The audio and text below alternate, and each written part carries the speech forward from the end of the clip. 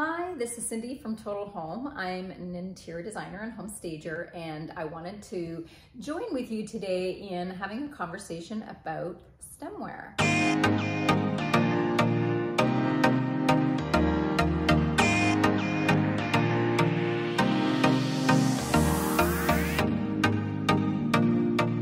So first and foremost, most of us have a collection of matching stemware as shown here, this set of four. And I don't know about you, but do you ever get like terrified of breaking one because then you have that odd set? Uh, most of us will actually discard them if we happen to have an odd set, potentially donate them to a charity like Salvation Army, um, or to the ReStore, for example, two great places that I happen to love to donate my unused uh, household items. However, I wanna give you a tip today for the odds and sods collection that you may end up having. First, if you do happen to have a matching set, nothing wrong with that, it's great. And when you're entertaining, it's nice on a table to set it up with your beautiful matching set. Everything looks picture perfect. And oftentimes you'll see that people will use these little glass charms and you simply stick that little charm around your stem and everyone can identify their glass. Another little creative tip for identifying your glass, I happen to think this is whimsical. It's also getting in touch with your child self uh, or to use maybe a little sticker. I happen to have a strong love and affection for butterflies. Fasten or secure a little butterfly uh, sticker to your glass and everybody gets to have a little bit of fun. You could do stickers during the festive seasons. During the winter months, you can do snowmen, leaves, for fall, holly stickers for Christmas season, whatever, have fun with it. Um, make sure that uh, you find a sticker that's not permanent if possible and that can peel quite easily or you're gonna end up finding yourself dealing with that. So if you happen to have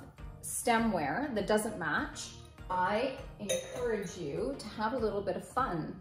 One way, without having to use your charms or your stickers, is to use different types of glass. So everybody gets to pick their preferred glass. And I think this is really pretty. You can find odds and sods like this at your local thrift stores. Go shopping, have some fun, and buy beautiful stemware that's an oddball.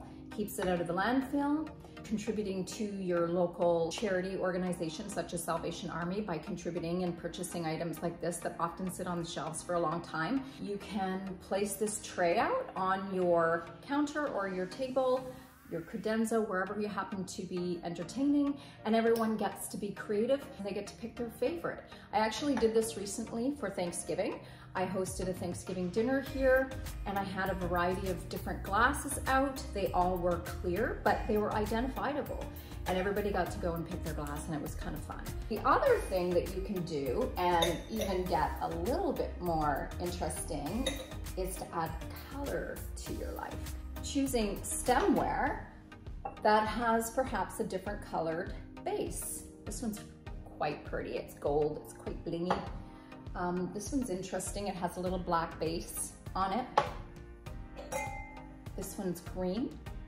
I think this is super fun and it's really inventive. This one's pink. How pretty is that one? It also has a, uh, a textured finish on the outside of the glass. I mean, how fun would it be to go to a dinner party and all the glasses are different and unique and have all sorts of different colors. It brings, injects some color into your dinner party, but it's also just a really fun way to be unique and different. My suggestion is to not discard those odds and sods in your stemware collection and actually create a collection of these beautiful, different and unique glasses. I just love them. I think they're so pretty and it'll just be fun for your guests. These are a couple of techniques that I happen to use that I find really fun and spark some interest.